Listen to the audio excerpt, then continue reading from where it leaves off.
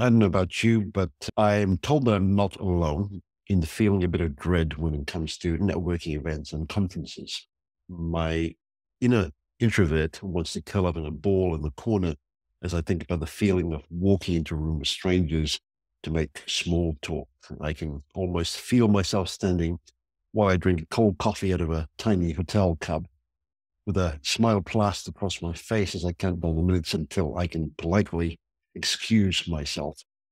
And now we have online networking events added to the mix, which adds an additional layer of challenges with glitchy technology, poor sound quality, and unclear social norms. Now it's sitting in your living room, hoping your family doesn't make a scene behind you while you try to introduce yourself in a breakout room. Look, going to an event or attending an online one and leaving feeling terrible is a waste of your time and energy. It doesn't have to be that way. It doesn't mean that you should forego these kinds of events altogether. In fact, our guest can probably help given his experiences. Hello and welcome to the Predictable B2B Success Podcast brought to you by Sproutworth.com. I'm A coach and our guest today is Ben Albert. Ben, you've had a number of sales and marketing roles prior to COVID, but then COVID hit and your story and journey took a bit of a turn.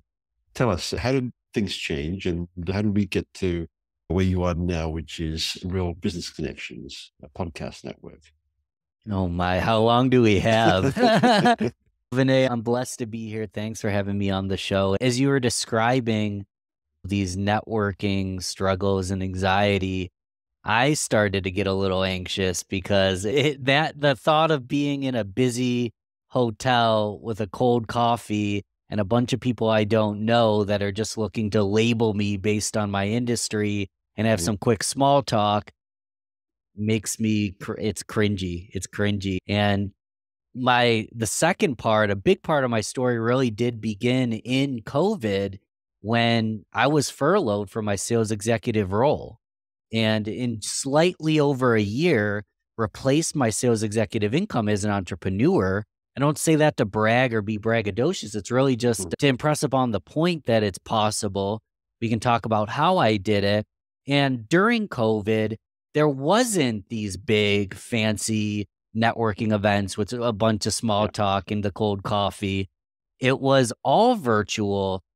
And I'm very introverted and I struggle in conversation if I can't go deep with someone. There's too much external stimuli distracting people. If I can't ask why questions, sit back and let someone talk like you're doing right now for minutes at a time, and share and spend the time together, I'm actually not in my zone of genius. So the mm. super busy in person networking events never was my zone of genius, anyways. Doesn't mean I couldn't get better at it.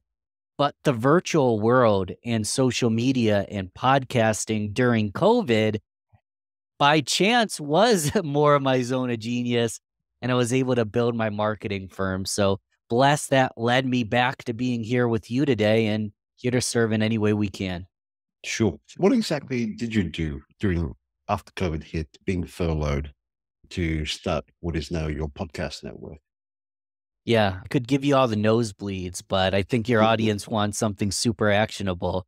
But to graze over the nosebleeds, mm-hmm. I didn't have a playbook and didn't know exactly what I was doing. I learned this by taking action and trying different things. But I'm from Rochester, New York. I had just started a business called it Balbert Marketing because I'm Ben Albert and I couldn't think of a better name and I had to write something on the line to get an LC. And I had been building a corporate brand my entire career. Now I had to build a personal brand, which I want to connect because a lot of the listeners might be in a enterprise or corporate environment. You can still do exactly what I did and build a personal brand no matter where you are in life. And if I were to go back, I would have started this forever ago. I started a bo- business podcast called Rochester Business Connections because I was from Rochester, New York, and I wanted more business connections. It wasn't really much more complicated than that. And what I learned over time is those connections were two kinds of people. One, people that I wanted to learn from, and they were able to take tens of years of wisdom, hundreds of millions of revenue, and squeeze it into an hour long conversation for me so I can get the best tactics and tips from them and go implement it and do it quicker. And the mm. other kind of people were potential clients, business owners in my hometown that I knew that I could serve with my services that I didn't come in and pitch them on the podcast, but I had an opportunity to build a relationship with this person. And a lot of my podcast guests in Rochester, New York, they didn't become clients, but did they become friends, peers, referral partners that generated income through goodwill and thought leadership and relationships? Absolutely. So little old me basically started a little old podcast. This was well before I scaled it to real business connections and decided to market nationally. I took my target niche, Rochester, New York business owners, created a podcast, which doesn't have to be a podcast. It could be a blog, a live event. There's lots of things we can do, but I created a medium around these people. And that's how I started networking during the pandemic and built my business. Brilliant. I love the simplicity of that uh, level of thinking. I'm also curious, what would you say uh, would be your personal area of strength? Yeah, I think you just nailed it on accident. You said, I love the simplicity of that level of thinking. I'm a very logical, rational guy. I see things in a very simple manner, and there's a lot of nuances to it. I like to see the multiple layers, but I like simplify. I think that if it's not simple, I don't know. I'm I've been obsessed with I'm on a tangent here, but I've been obsessed with cults lately. And a lot of things cult leaders do is they use these complex word salad where they integrate all these different, they take science, religion, environment, and they mix them all together, even though they're not an expert on any of them. And they create a word salad of noise that I don't even know what they're saying. And it just, I don't know, it just like hypnotizes people to think that they know what they're talking about when they're just manipulative buttholes. Mm-hmm. so, a big strength of mine is I keep it simple and I try to keep it personable. Like I I want to communicate at the level of the person I'm speaking to. I'm not here to confuse anyone or talk over them. I'm here to connect, simplify and have conversations and luckily podcasting was a good medium to do that. And uh, in that area of strength, what would you say is something that businesses don't know but should? Their target client doesn't speak their language is the simplest thing. And a big thing, I'm not an expert on needs analysis, but a big thing and a simple thing that I'm sure a lot of listeners already do, and if so, inject steroids into it, is just surveying your current clients, surveying their needs, sampling products with them, giving them free tastes of the things you offer, getting their feedback, and developing solutions for them rather than a projection on, I needed First off, if you needed it, someone else does. That is not a bad strategy. It's a simple strategy, but at the core, it's not about you and what you needed. It's about them and what they needed. So ask questions to your current clients, ask questions to your current prospects. I'm randomly weaving the podcast into all of this, but by hosting a podcast, that's what I did. I had a conversation with business owners so I could understand how they speak what their goals are, why they do what they do. And then when I created solutions, I created those products around the people that I wanted to serve. Certainly. If we can go a little bit more granular on this idea Please. of podcasting, when you started off, how long did it take you to actually be able to source or find clients as a result of your podcast? It's well, eh, that's a difficult question because it's a nuanced answer. I'll give you a super broad strokes. Sure. So in 2016, I started a music podcast.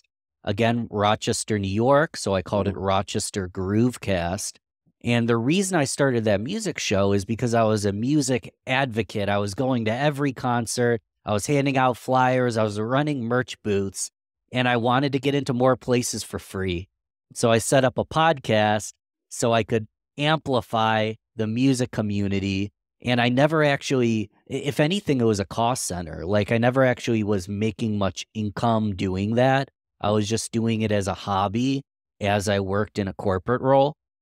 And then when COVID hit, I basically rebranded from late night music Ben to business Ben and no longer treated it just as a hobby, but treated it as more of a communication and marketing channel. Mm-hmm. And why it's some completely nuanced and hard to answer this question is my first ever client, once I signed up for my LC, was a charter school that found my music podcast on Google and mm-hmm. wanted me to teach podcasting to their students.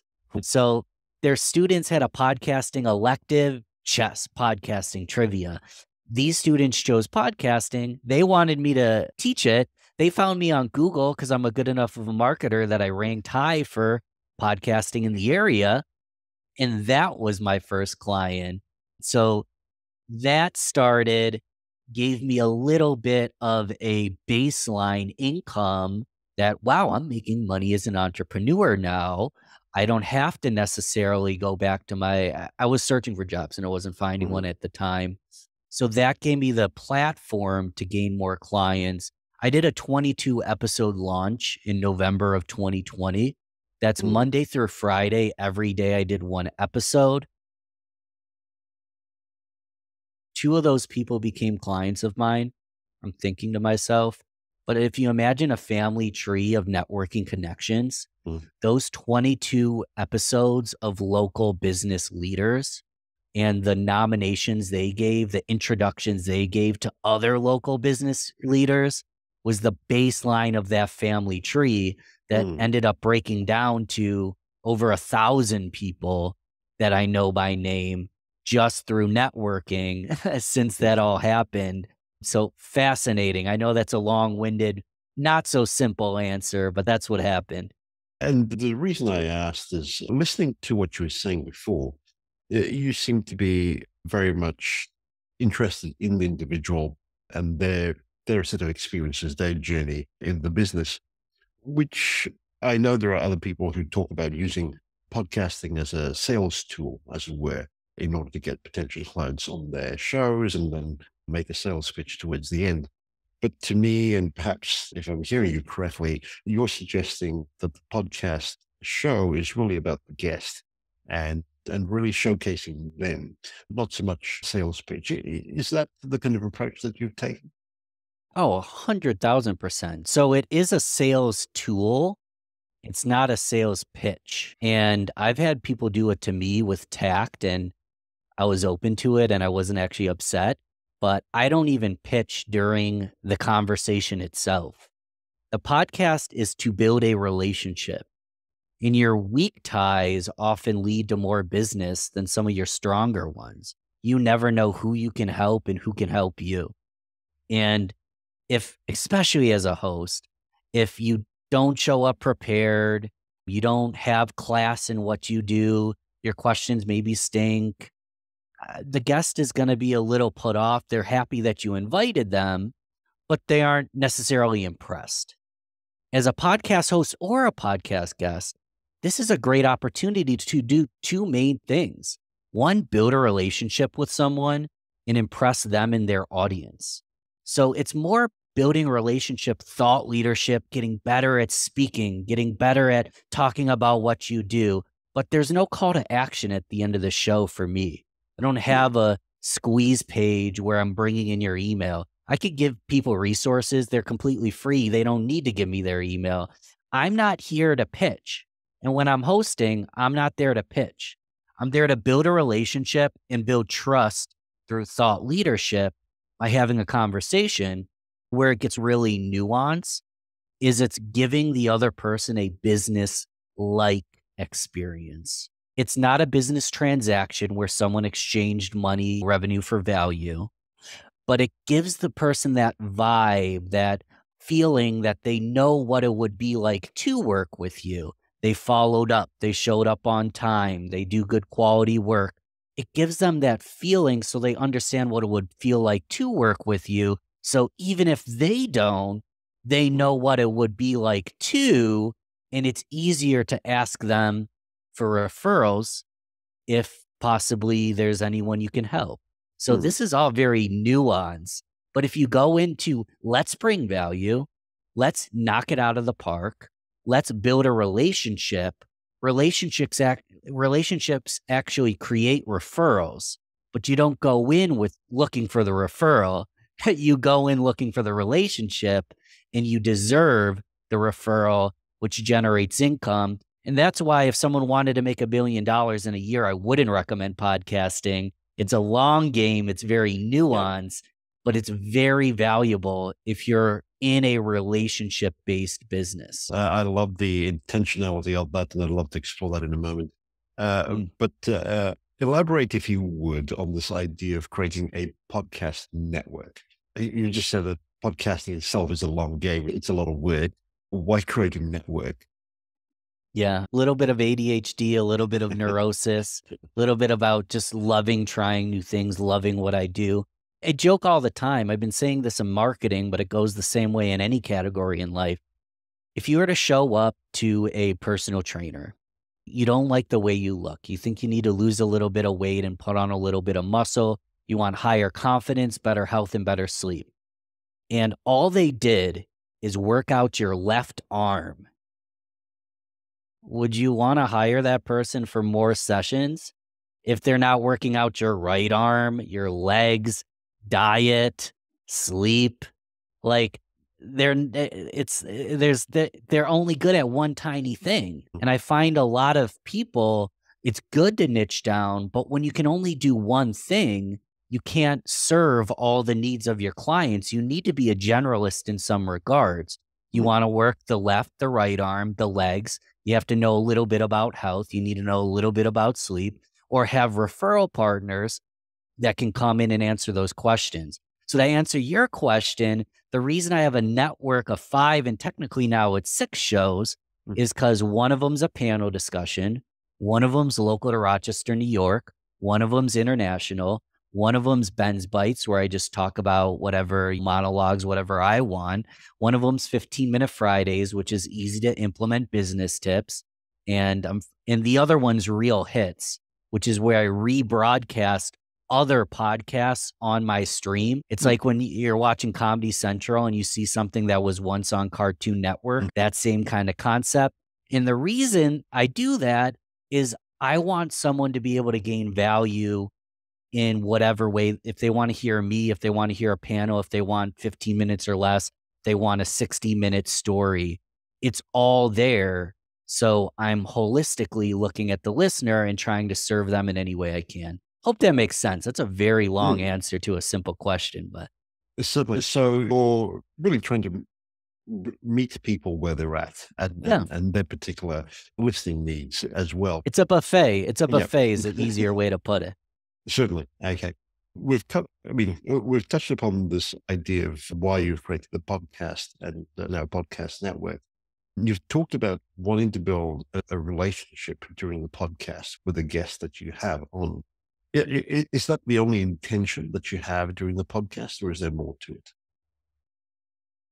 If you were to really get to the core of it, the number one thing is I'm new at this role.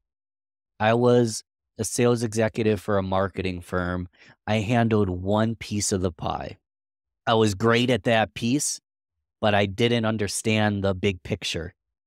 And by having conversations on a business podcast, with people that have accomplished what I'm seeking to accomplish and have went through what I'm going through, I have a unique inner door sit down coffee chat with people that can really help me better be better at what I do. So it's those both things at once. Mm. I want to build a relationship because relationships are currency. Like we are the people we know. We want to build goodwill with as many great people and help as many people as possible, even in the smallest of ways, even if it's just holding the door open for someone who's having trouble walking into the grocery store. Like those little bits of goodness makes a better world. But I also get to humble myself. I'm never on a high horse. Like I have a million things I still need to learn. I get to humble myself and learn from these people while I build a relationship with them. It's it's the yin and the yang. I can't think of a better way to do it and it's been a great experience thus far. Mm-hmm. So there's the one-to-one relationship with the person that you're talking to. Yeah. Uh, obviously, for a podcast, it's almost like a platform, a stage wherein uh, you have the opportunity to speak to an audience as well. What are your thoughts on building an audience for the podcast and for yourself as a personal brand as well as your business? Yeah, it's interesting because I feel like the person in front of you comes first, the audience comes second. And let's just say theoretically, the person you're speaking to is someone you'd like to be in your audience. If they don't like you, why would 50,000 other people like you? Like, you want to show up for each person in each moment. I don't know exactly who's listening, but my goal is to show up the best I can for you in hopes that helps them as well. So even if the only listeners are me, you, my grandma, and you're, I don't know, a colleague, will just say, even if they're the only listeners, I want those listeners to gain value from the conversation. So it's building micro relationships. It's building a micro audience. It's focusing on the people you're serving day by day, knowing that there's a ripple effect that occurs and you'll gain more listeners and gain more followers and gain more impact. But even as I'm sure you've seen it, like even as the podcast grows or the business grows or any of this stuff in the thought leadership space grows, a lot of the listeners are quiet you never know exactly who's paying attention and how you can help them. So it's just a mission of mine to humble myself, knowing that I don't know who exactly I'm helping, but I want to show up for them just in case they need something. And whether or not someone reaches out and says, Vinay, Ben, thank you for this conversation. I know that people are listening and hopefully gaining value from what we do with this idea of the audience and the podcast, there is obviously a lot of conversation around repurposing the content yeah. that we produce from the podcast to create the snippets, if you will, that could be shared across social media, other platforms in order to increase our reach. Is there anything else that you find has worked well for you in terms of building your audience? Yeah, you nailed it with content repurposing. We'll talk about that super briefly because let's whether or not you're in like an enterprise scenario or you're a sole proprietor, look back at the time when you were as the biggest team you've ever been a part of. How many people on that team had a personal brand? In most cases, it's sometimes even zero. Oftentimes, the best sales rep, the CEO, HR, none of them speak out on social media. And I think that's a really big disservice because there's a lot of people that don't know who you are that you could be serving with your products and services or even just your education that you're not reaching. So, putting out content, whether the podcast is the gold mine where you start or not, putting out content's brilliant because if you're in a leadership role, don't you think you're going to continue to move up? If you're the leader, don't you want to set a great example for the people below you? And even if you're towards the bottom, don't you think it gives you job security when you have a built in personal brand? They're going to want to promote you because you're poachable. Let's be honest. If someone's got a strong personal brand, they have a good relationship, maybe they have a podcast, they have lots of relationships, I meant, and they're building out like something for themselves, the company is going to either put resources into you or you have the capacity to move to a company that will. Mm-hmm. So, podcasting is just one way to create a personal brand, create content, relationships, get yourself online. It's just one way. It's a really good way. And then you repurpose that into bite sized content, et cetera, et cetera. We can go that route. I don't even recall if I answered your question. I'm just really passionate about the fact that it doesn't matter what role you're at, start putting yourself out there and it'll better you for the long run. Hmm. But is there some thought to going beyond just repurposing content and putting yourself mm-hmm. out there to actively engage and perhaps activate these quiet folk who are listening in yeah. In order to engage in more of an interactive dialogue. I guess what I'm asking is Are you actively thinking about ways in which you can take the audience that you have and create other scenarios or platforms wherein you can better engage with these folks as part of your overall networking Yeah. efforts? And thanks for asking again, because as you were rephrasing, I'm like, oh, that was the question he asked. The building, building relationship and growing the audience, engaging with them. It's difficult. The best answer I have is softly provide as many call to actions as possible. For example, my email list isn't huge, but there's about a thousand people on it. It's a good number of people for a small business just getting started building that list. I sent out to my email list, Hey, would you like to be on my podcast?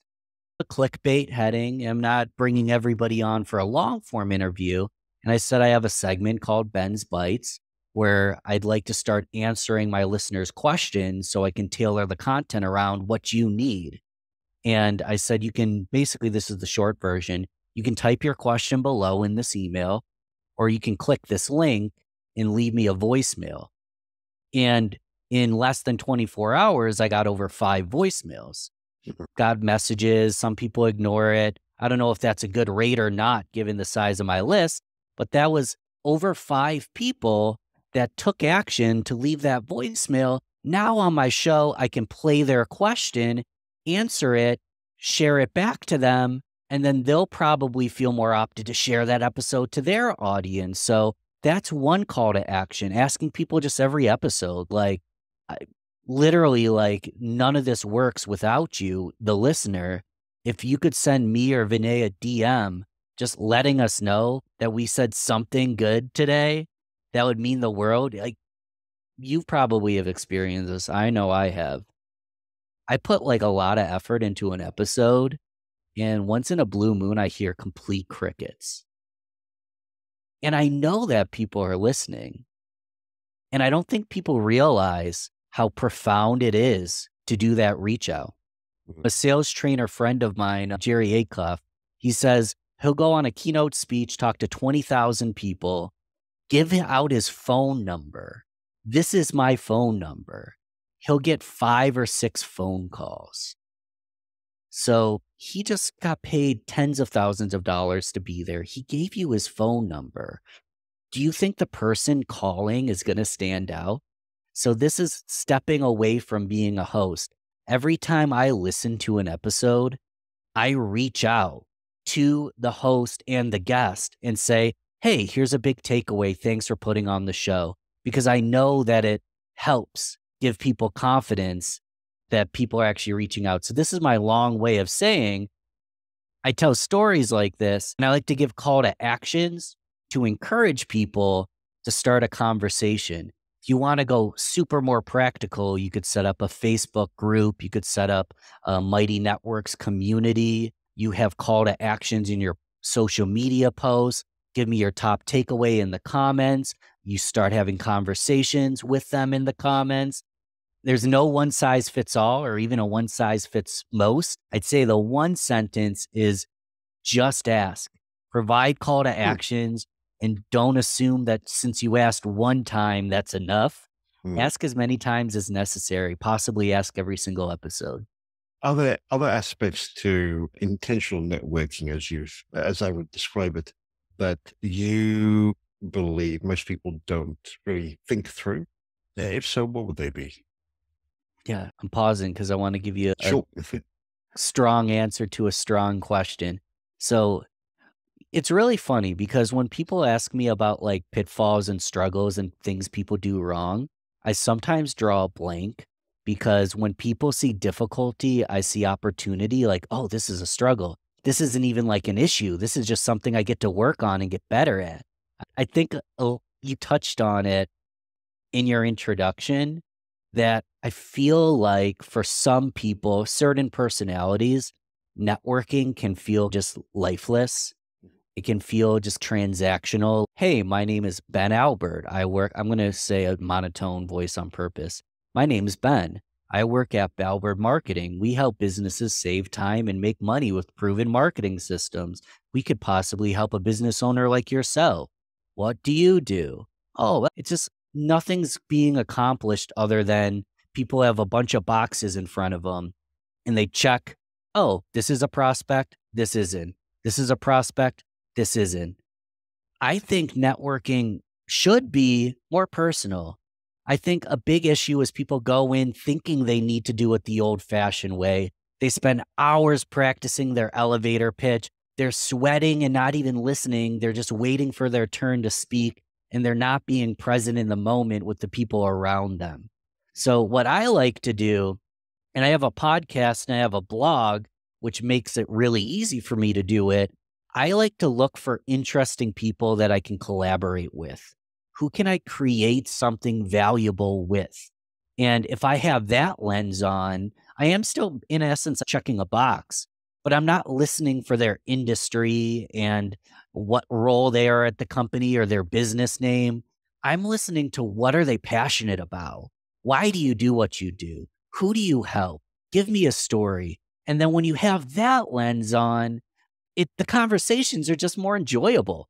That's mm. me projecting my perspective. But for me, those deeper conversations where I can go maybe a layer deeper is more enjoyable. So if anyone feels like they're not enjoying networking, maybe it's your fault. Maybe mm. if you were to ask a question, well, we've been doing this all day. Just tell me a little bit about how you got started into sales. Asking a question like that, just tell me about why you do this, will open up the conversation. Both people might, their commission breath will disappear. The guard comes down. Humans buy from humans who sell to humans, who fulfill orders for humans we don't have to put on a mask and try to be someone we're not in networking or any conversation for mm. that matter. So a lot of this is philosophical. I hope I I hope it's helpful. I know it's a little more philosophical and nuanced. Uh, no, but I, I, love your thinking. I certainly resonate with it personally, and it's probably a little bit different to what we normally hear in the uh, in the public sphere. What, what, an internet search would bring up. It's uh, thank you for sharing. Now you have coined the term around what you do as creation driven working. Is there more to what you call creation driven networking, or is it pretty much what you've talked about so far?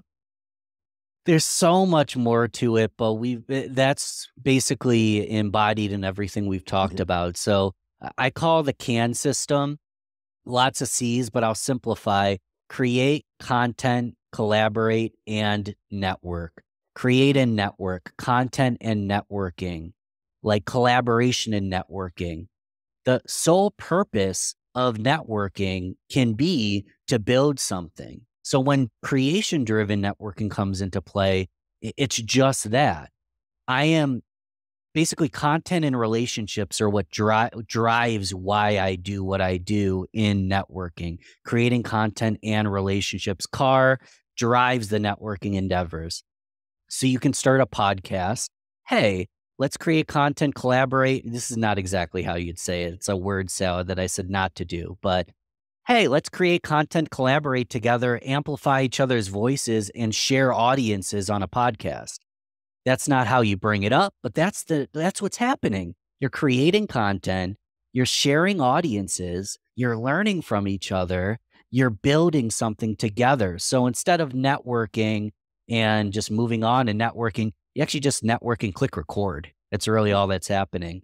Or you host a live event together. Hey, I'm looking to put on a live event. And honestly, I'm just one guy. I need other ladies and gentlemen to come to the table and help me. Would you like to partner with, on this event? Mm. Or let's say someone else is running the event, volunteer. And before you know it, you're on the advertiser list that people paid thousands of dollars to be on because you're a volunteer for the event. If you want a seat at a table, if you want to speak, why don't you just bring your own table? You bring your own mic. So the point is that let's create content and collaborate together that will drive the relationship. We have a similar value of some sort, whether it's a charity, of love of SaaS, a love of learning, wanting to help children. We align there. So we meet on a commonality. Mm. Let's do something together around that commonality and then build a relationship by act. It's I'm literally like stuck in my own head right now because I can't think of a better way to build a relationship because you're creating something bigger than yourself as well. You're helping a charity, like you're helping people as you build a relationship. You're growing your business as you build your relationship. You're sharing audiences. To me, it's the best way to do it. Love it. You mentioned uh, that one of your podcasts is a panel format. Is that correct? Yes. Yeah. Uh, I'm curious. Uh, is it like a live show? So this particular show's live on LinkedIn. Yes. Okay. So I'm curious. Uh, how how would you go about putting something like that together? Because not only do you have the difficulty of coordinating people to come onto the show, there is also perhaps more of a conversation to be had around audiences and things of that nature. But I'm trying to tie that idea of mm-hmm. serving, bringing people together into this, into what you were just talking about, the whole can concept, as you put it. How, how does that work? Could you elaborate and talk us through that? Yeah. So with a panel comes multiple people, which comes multiple opinions, schedules, mm-hmm. et cetera, et cetera. So it can be very difficult.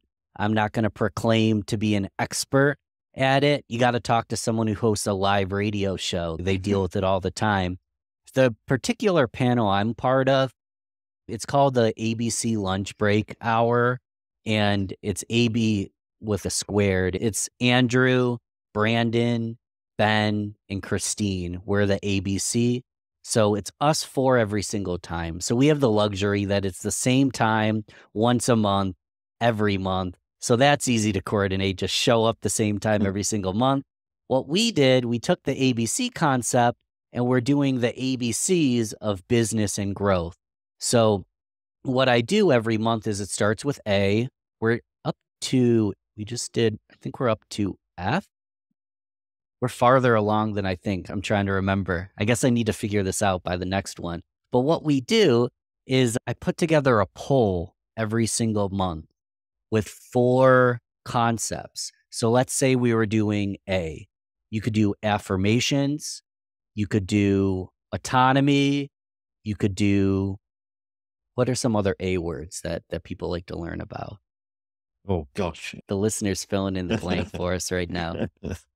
Uh, I'm drawing a blank here, but me too. It's yeah. funny. I do this all the time. I'm drawing a huge blank, and, and then uh, basically we give them 4 mm-hmm. options, and then pull LinkedIn, and based on what wins out of the four, that's our topic for the month. And one thing that I haven't done the way I could, and you're reminding me that I need to, is you look at the poll. And one thing that's beautiful about LinkedIn polls the person who posted the poll can actually see who voted what. This is a way to get slightly into the mind of your prospect. In reality, you see what they're interested in. So mm-hmm. anybody could put up a poll. What kind of problems are you having as an SMB, et cetera, et cetera? And then figure out what problems people are actually having by the poll. And you can see who voted what. So talk about a way to get inside buyers' heads. But what I can do is look at so all these people wanted autonomy. We chose A, autonomy. I can direct message everyone who voted for autonomy and be like, guess what? Autonomy won. Thank you for voting. We're going live at this time. So that's a process on how we do the LinkedIn Live. And then it's recorded live, but then I re release it as a podcast afterwards. So if someone can't make it during the lunch break, that's fine. So that's peering inside the background of what goes on. But my gosh, it can get confusing the more people on the project at a time. I would imagine so, yes. And something I haven't quite delved yeah. into as yet. But thank you for explaining that to us.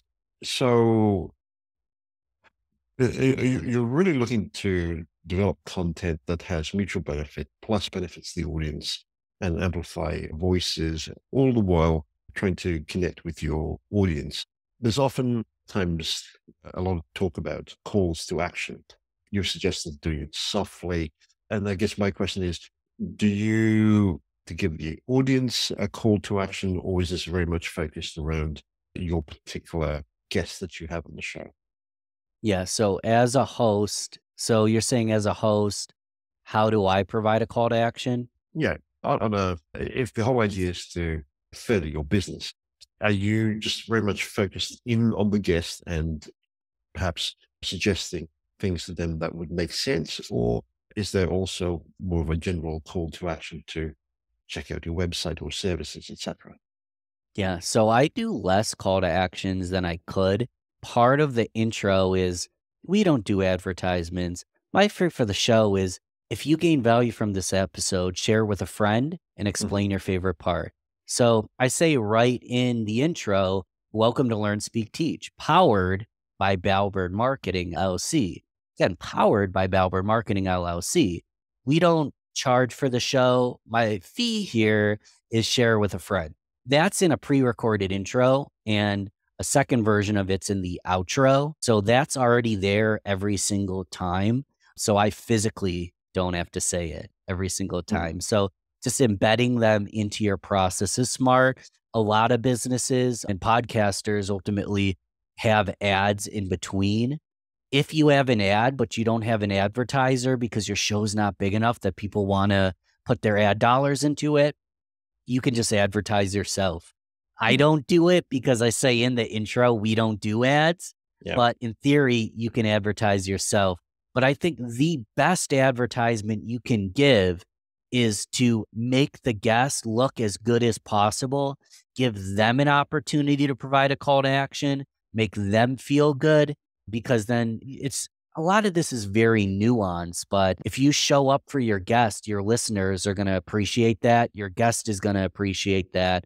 And maybe that eh, your guest isn't a client, but again, they can lead you into an introduction to someone who might become a client. Hmm. So I'm always focusing on what's in front of me. I try not to think about every single person on earth. I focus on how can I serve who's in front of me, realize anyone can be listening, and just show up the best I can. Not my best answer ever, Vinay, but I'm learning this. Yeah. What do, what are your thoughts? What do you how do you spread that message? Do you have call to actions at the front and end of the podcast? Do you send it out as an email? What's your strategy? I don't really have a call to action per se, if I'm being honest. I, I do mention at the intro that the podcast is brought to you by Sproutworth.com so people can go there and check it out. I sorry, correction. I do ask people to leave a review if they are so inclined to, but that's about it. Mm. There is no direct call to action to my services or business per se. Now, however, if it does come up in conversation prior or post podcast, so be it. But it's definitely not the intention or the direction that I take the conversation of the podcast to. Makes sense. That's fine. One thing, oh, call to actions can be humbling because a lot of people don't take them. And you're like, I put out this ad and no one clicked. And it's it can be humbling, but it doesn't hurt to try different strategies and see what works for you. Certainly. And uh, you've certainly given me a lot to think about. Something I wanted to ask you is do you find that having these conversations, doing networking as you do it, fuels your own thought leadership? Fuels my, I don't know if it cut out. Say that again. I Uh, apologize. f- fuels your own thought leadership. Oh, yeah. So it's interesting. So someone else called me this one time and I loved it. And I don't quite know what it means. Maybe the listener does. They say, Ben, you're like the thought leader on bringing together thought leaders. And it was really humbling, thought leader at bringing together thought leaders, because when I started my podcast, I already touched on this. I started Rochester Business Connections because I wanted more business connections. It's that simple. I was a minnow in a sea of sameness. I was a marketer who had just gotten started from a big competitor, and no one knows who I was. I, I wasn't a thought leader, but what I became was a thought leader at bringing together thought leaders by being the listener.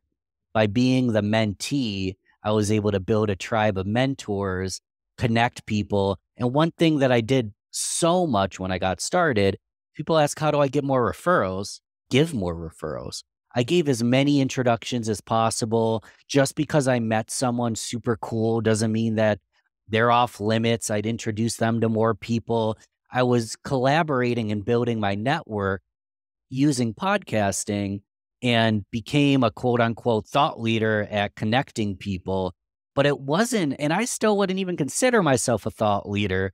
It wasn't until a couple years down the road that I had learned so much from so many people that I was more confident and convicted in what I do and how I can help. I spent many years as the learner. A lot of people want to jump into being the thought leader, but they're not a leader and their thoughts stink. So to be a thought leader, what I did is I jumped in as the student, the learner, and now that I've learned from so many brilliant people, I don't think my thoughts entirely stink. But if you want to build thought leadership, if you want to build that out, you need thoughts and you need to be a leader. So you need an audience, or else you're not a thought leader. And your message needs to be good, or you're never going to retain an audience. And I think it's that simple. Is there perhaps an aspect to to creation driven networking that you find people don't ask you or doesn't get talked about very much? Eh, if so, what would they be? That's a great question because usually people ask me all the same things. They ask questions like, How do I monetize my podcast quickly? And I think it misses the mark a little bit. The kind of questions that people don't ask is, How can this develop my soft skills to make me a better salesperson? How can this help me develop my speaking skills so I can be a better presenter, a better leader? How does this allow me to be present in the moment? What does this do for my fulfillment in learning something new?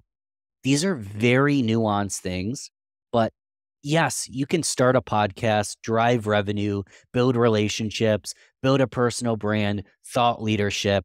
Those are more tangible. But the stuff I think a lot of people miss is what kind of confidence do you have once you've asked hundreds of thousands of questions, you've guessed it on podcast and answered hundreds of thousands mm. of questions. How is your life going to change if you're a better communicator?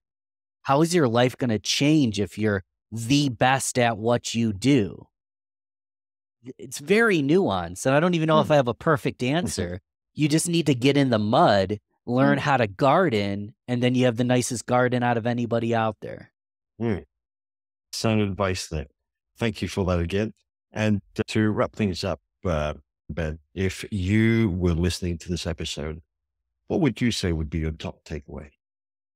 Yeah. So I'm going to try to squeeze everything together because I haven't said this yet, but uh, I'll give a metaphor for everybody. So everyone wants the key to success. They want the key to happiness and fulfillment. There is no key to success. It's a combination lock, quite similar to a padlock. Each and every one of us has our own unique combination. Quite similar to why do you think they take your fingerprint when you get arrested? Because every fingerprint is unique, every human is unique. There is no key, it's a combination lock. And this conversation could be part of that combination, or you could just throw it out and not implement anything today if it didn't serve you.